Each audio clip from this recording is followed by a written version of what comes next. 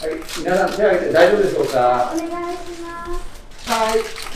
あといただいてます。どうもありがとうございます。すみません、ここもください。お願いします。センターの前の方お願いします。センターの前の方お願いします。ありがとうございます。ありがとうございます。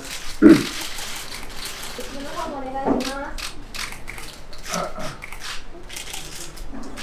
じゃあこちら奥すみませんお願いいたします。写真集をちょっと顔の横ぐらいまで上げてもらうことできますはいすみません。お願いします。ありがとうございます。実はすみません。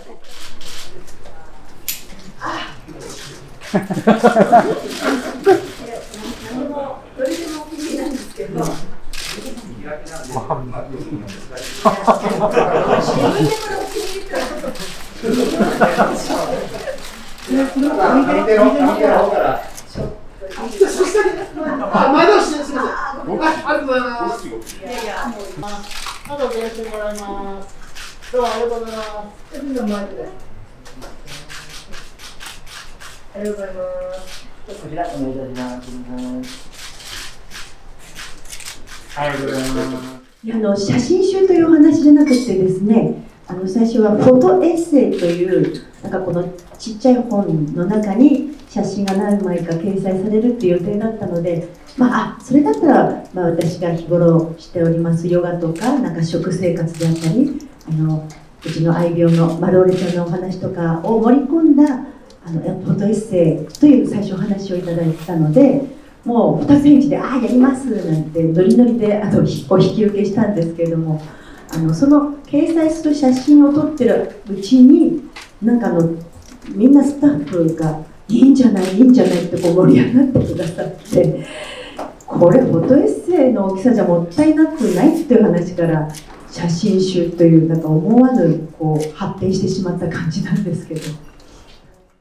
場所は石垣島なんですけれどもえっと、ちょうど海辺であの夕日の撮影の前にちょうどあの岩場がありましてそこにあのちょっと一瞬そこに立ってみてくれないかっていうあの、まあ、ほとんどカメラマンの浅井先生はじめスタッフさん全員女性だったんですけども唯一講談社の男性が一人いらっしゃっててその男性が「あの岩場に立ってほしい」って言った瞬間女子全員で「えー、あんな暗いとこで撮るの?」っていう感じで最初全員否定したんですけどもまあしょうがないじゃん。一つくらい言うこと聞いてあげるって言ってあそこに立った瞬間撮ったものがなんか評判が良かったというありがたい話なんですけども、まあ、あの日頃すごく可愛がっていただいています。あの美川健一さんからはもうあんだったもうすごいじゃない。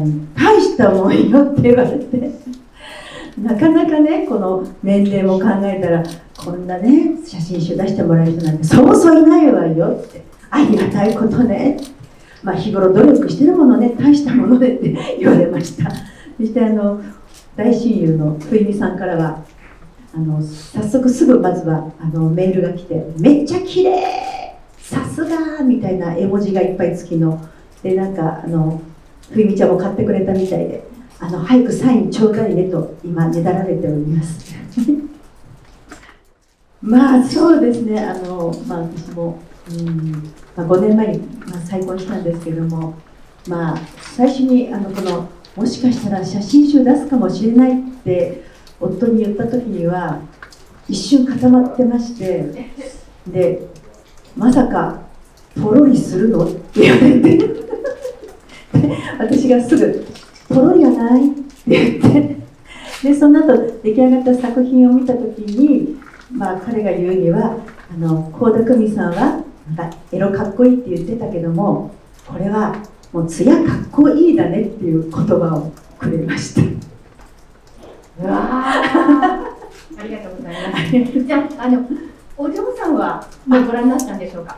もううちの娘と、まあ、14歳になる孫がいますけども2人とも大したもんだねって 人事ですねあのよく同世代の方があの本当にお話しする時にもう私は年だからとかもう無理無理無理とかこう結構諦めてらっしゃる方が多くってでもやっぱり、まあ、私自身がそうなんですけどもなんかこう自分がやれる範囲ででどんどんこうで体も出来上がってくるとすごくこう自信にもつながりますしできないことはないんですよ。何かこう自分を輝かせる何かを見つけてそれにこう努力していくっていうなんか自分自身にこうなんかあ頑張ってるな私あもうこれからも頑張ろうってそういう気持ちになってほしいな諦めずにはい。もう旦那様だけのためじゃなく自分自身のためにやっぱりその輝くっていうことはあのもちろん10代20代30代って黙ってても輝いてますけどももう50歳以降は努力しかございません。皆さん努力しましょう。思いました。だってもう何ここなんかついてる？みたいな。